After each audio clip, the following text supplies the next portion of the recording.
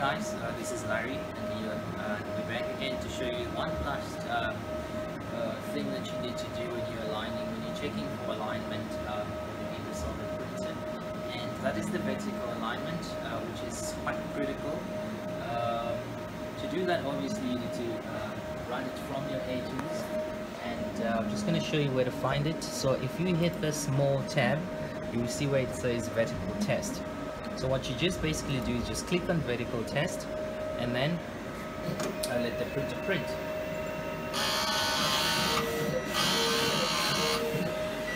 Alright, you, your printer is going to print these lines, alright? And um, this looks fairly good. Uh, as you can see, the lines are quite straight. So it's actually one, two, and three uh, batches of lines.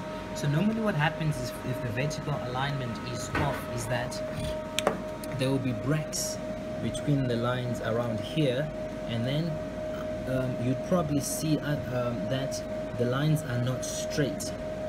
So in the event that the lines are not straight, uh, what you have to do, this has to be adjusted manually. So what you have to do is, if you look on your head, what you do is there are one, two, three, and four screws there. First, the first thing you do is you unscrew these lightly, not too much, because uh, you don't want to um, the head to be moving in a um, loose um, in there. All right, and then you've got these two screws right here. So these are the two screws you use to align vertically. So you either tighten this or tighten this to move your head to make sure your head is straight.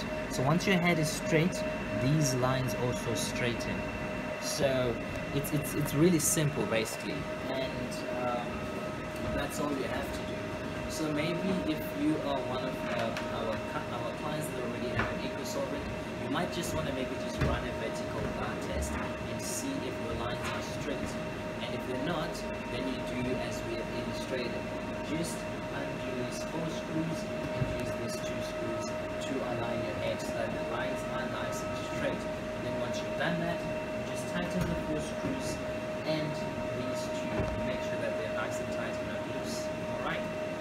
guys. Thank you guys for watching.